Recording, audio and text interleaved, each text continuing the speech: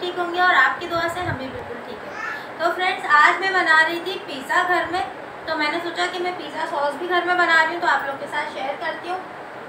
तो pizza sauce बनाने के लिए ना मैंने जो टोमेटो प्यूरी जो घर में बनाई थी ना टोमेटो टोमेटो जो सेव किए थे तो ये वही वाले टमाटर का पेस्ट लिया है मैंने, एक प्याली। और जिन जिन लोगों ने मेरी वीडियो वो नहीं देखी तो प्लीज़ जाके मेरे चैनल पर वो वीडियो देखें। बहुत अच्छी वीडियो बहुत अच्छा लॉन्ग टाइम हमारे पास टमाटर रह जाते हैं। तो ये एक प्याली मेरे पास ये है टोमेटो पेस्ट और मीडियम साइज़ की एक प्याज ली है और छः सात मैंने लहसुन लिए हैं। और टू पिंच मैंने जो है वो ये मिक्स हर्ब लिया है। वन टीस्पून मेरे पास कुटी मिर्च है और वन टीस्पून मेरे पास पीसी मिर्च है और वन टीस्पून नमक है। तो सबसे पहले जो है मेरे पास टोमेटो पेस्ट है। अगर जिसके पास ये टोमेटो पेस्ट ना हो तो वो सिंपल टमाटर लेकर और फिर भी ब्लेंड कर सकते हैं। तो ये मैं प्याज डालूँगी, इसमें लहसुन डालूँगी। अगर मेरे पास साबित टमाटर होते तो मैं वो साबित टमाटर इसमें डालती, क्योंकि मेरे पास पेस्ट है तो मैं ये यूज़ करूँगी। तो मैं ये ग्राइंड करके फिर आप, फिर आपसे मिलती हूँ। तो फ्रेंड ये मैंने ग्राइंड कर लिया, ये देखें आप। ये देखें, ये प्याज और लहसुन है। और ये फ्राई पैन भी मेरा गर्म हो रहा है तो अब इसके अंदर जो है वो मैं, क्या हो गया? अच्छा ये वो है। क्या बोलते हैं?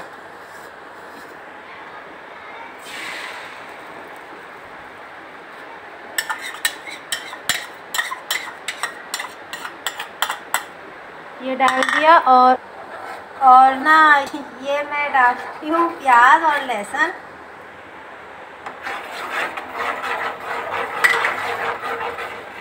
ठीक है, और ये है मिर्चें। और ये नमक। और मैं इसको अच्छे से सिर्फ़ पकने दूँगी अभी।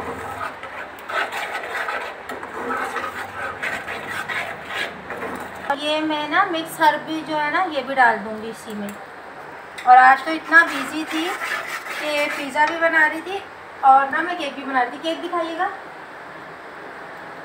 तो मेरा केक ओ केक भी डन हो गया है। मैं इसको निकाल लेती हूँ। केक भी बना रही थी मैं। तो ये केक भी मेरा देखें रेडी हो गया है।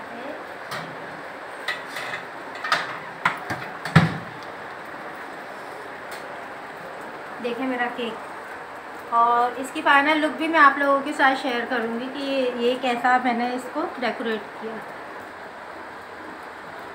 और ये देखें कितना अच्छे से ना पक रहा है। लेकिन मैं इसको थोड़ा थिक सॉस जैसे पिज़्ज़ा सॉस हमारी होती है ना तो मैं उस कंडीशन में इस, इसको ना पकाऊँगी। तो फ्रेंड्स ये देखिए ये बिल्कुल पक गया बहुत अच्छे से और लास्ट में मैं इसके अंदर सिर्फ़ ये वाइट वेनेगर डाल रही हूँ वन टीस्पून के बराबर। ठीक है? और ये देखें इसको बस एक एक बार और तेज़ आँच पे बस पका कर और मैं इसको निकाल रही हूँ। और हाँ इसके अंदर मैंने जो है one four teaspoon food colour डाला है ऑरेंज फ़ूड कलर जो हम जर्दे वगैरह में जो यूज़ करते हैं ना, वो वाला। और उसके बाद इसकी कलर देखें।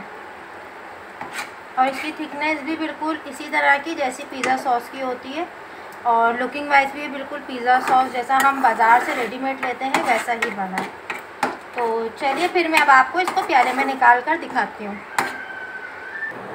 तो फ्रेंड्स, ये देखिए मेरा पिज़्ज़ा सॉस जो है, वो रेडी हो गया है और बताइएगा और ज़रूर ट्राई करिएगा। बाज़ार में बहुत महँगे महँगे मिलते हैं तो हम लो बजट में बहुत अच्छा पिज़्ज़ा सॉस जो है, वो घर में रेडी कर सकते हैं। तो वीडियो को आप लोग फुल वॉच किया करें प्लीज़ फुल वॉच किया करें। वीडियो बहुत मेहनत से बनती है, आप लोग को पता होगा जो भी यूट्यूबर हैं। और मेरे चैनल को सब्सक्राइब करें, वीडियो को लाइक करें और अपने जैसा प्यारा कमेंट तो लाजमी करिएगा। और अपना बहुत सारा ख्याल रखें, दुआओं में याद रखें। मिलते हैं नेक्स्ट वीडियो में, तब तक के लिए अल्लाह हाफिज़।